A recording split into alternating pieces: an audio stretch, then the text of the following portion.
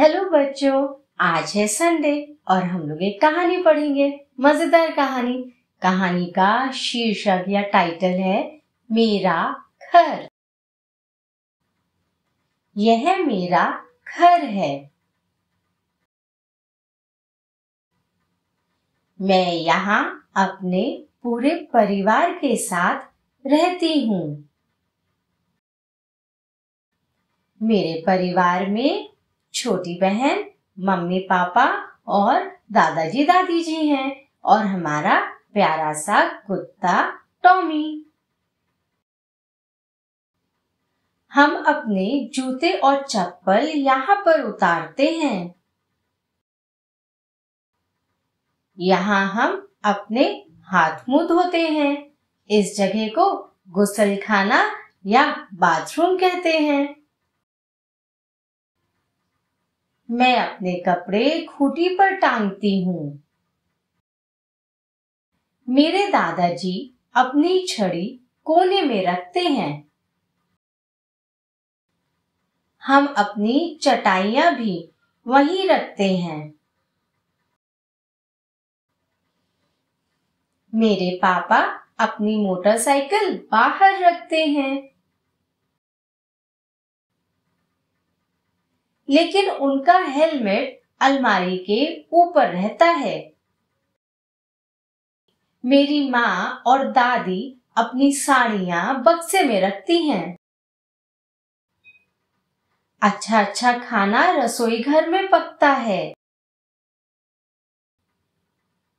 जब ठंड पड़ती है तो हम रजाइयाँ निकाल लेते हैं। सोने वाले कमरे को बेडरूम कहते हैं। जब गर्मियाँ पड़ती हैं तो हम एक पंखा चला लेते हैं।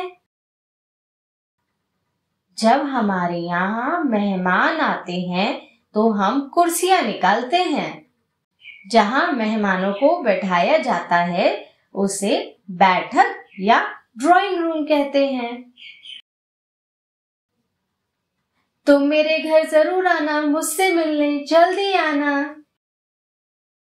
इस कहानी में बोली गए संज्ञा शब्द बताए। व्यक्ति, वस्तु, जगह और जानवर के नाम को संज्ञा कहते हैं।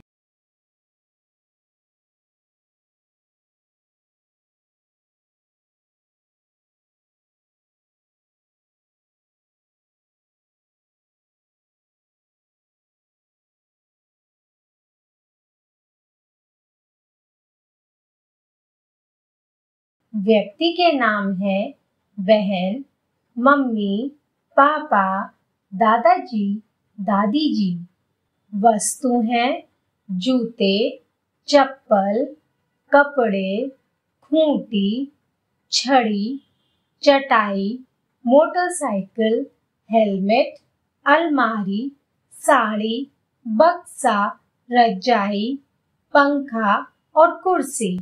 जगह घर। जानवर, टॉमी। कैसी लगी आपको कहानी? कहानी सुनने के लिए धन्यवाद। Take care bye bye